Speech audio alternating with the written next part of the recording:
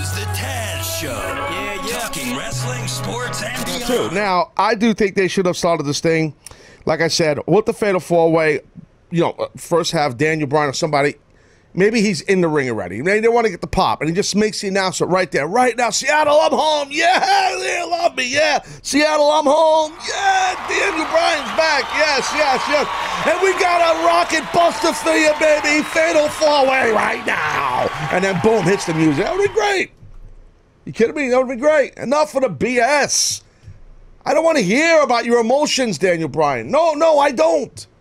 Most people don't. Nothing against Daniel Bryan. Nobody cares about this. Nobody cares. People want action. Give them action. Nobody cares about that part of it. Well, we're trying to get depth in characters. I know that.